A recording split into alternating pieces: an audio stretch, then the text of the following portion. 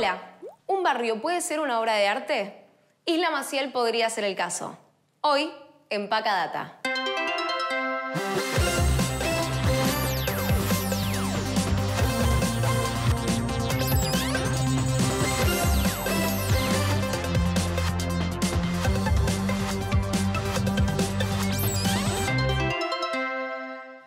La isla Maciel está en Avellaneda.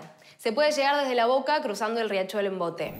Vivir ahí no siempre es fácil, pero la mayoría de sus habitantes dice que hoy es una verdadera obra de arte. Vamos a ver qué te parece a vos. Antes, la microdata.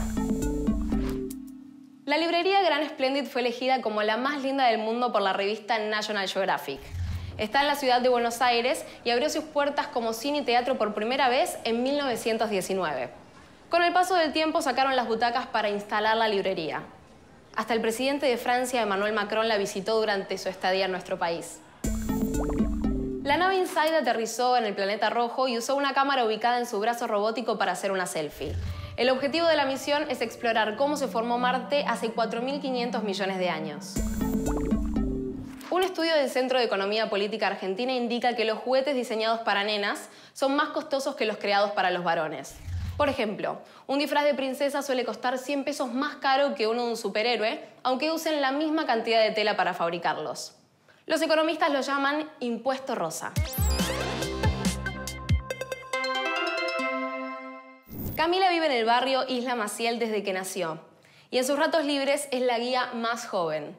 Ya recibió turistas de distintos lugares del mundo en una visita que incluye la escuela el potrero y un recorrido por los murales en donde ella misma participó.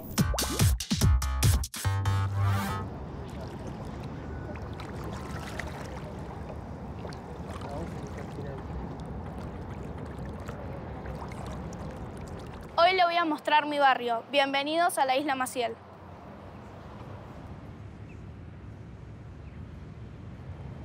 Bueno, estamos al frente del transbordador de Isla Maciel. Hay ocho en el mundo y bueno, están todos en funcionamiento.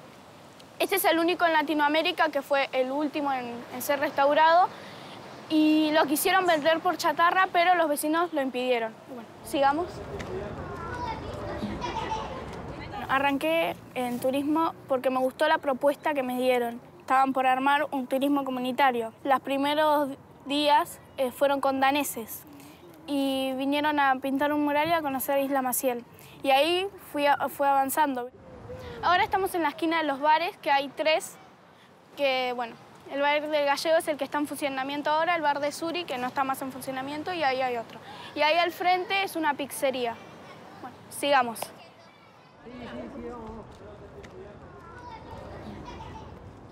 Pintó la isla comenzó en el año 2014 en la escuela número 24 Isla Maciel, secundaria. Con este mural empecé en Pintó la isla, fue que vi un folleto con mi, madre, me anoté, como me gusta desde chiquitita dibujo, eh, me anoté y al otro día vine, que pintamos acá, que fue un, un mural colectivo con gente del barrio.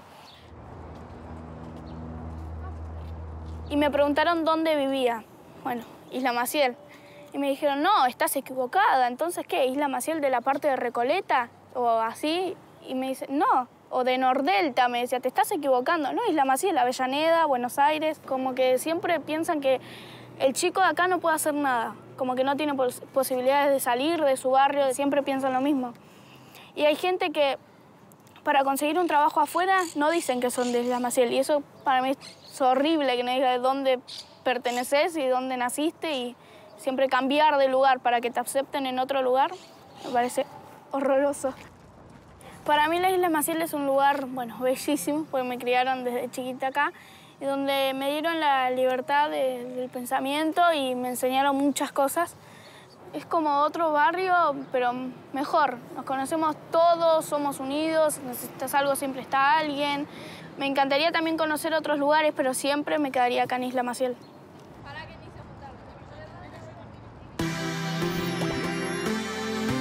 Los vecinos de Isla Maciel ya pintaron 200 murales en 10 manzanas.